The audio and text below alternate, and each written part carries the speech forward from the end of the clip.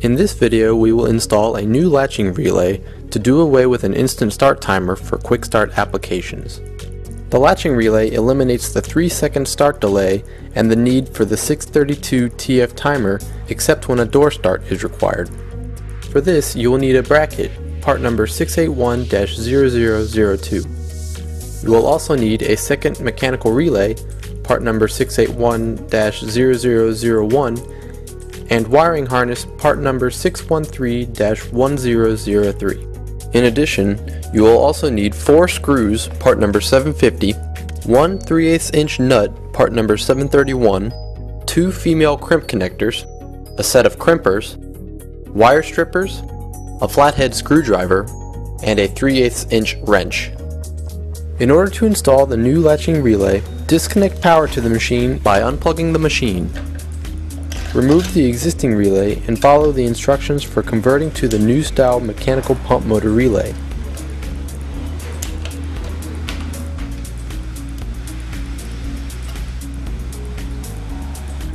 Mount two pump motor relays, part number 681-0001 on the bracket. Use four screws, part number 750.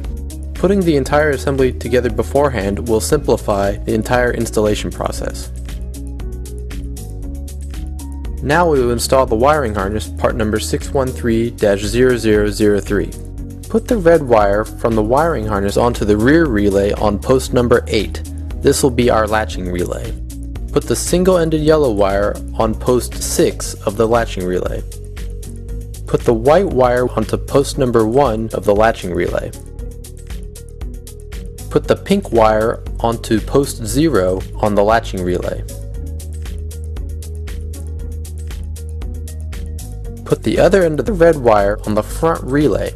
This will be our pump motor relay. This is attached to post number 8 with the red wire piggyback connector. Put the other end of the white wire with the piggyback connector on post number 1 of our pump motor relay. Now we will install the assembly into the timer box. Put the assembly into the right rear corner of the timer box, making sure not to pinch any wires while doing so. Put a part number 731 nut onto the stud that goes through the existing screw hole in the timer box. This is to prevent possible short circuits. Put the red wire from the on-off switch onto the red piggyback connector.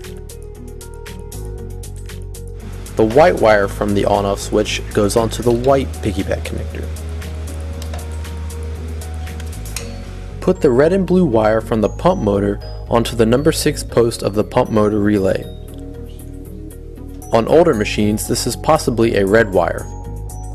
Put the wire from the coil onto post number 0 of the pump motor relay. This can be either a yellow and black wire or just a yellow wire.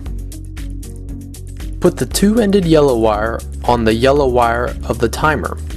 On some machines you may have to cut the yellow wire and splice it in. It is wired for newer machines that have a yellow wire with a break in it at the master cam.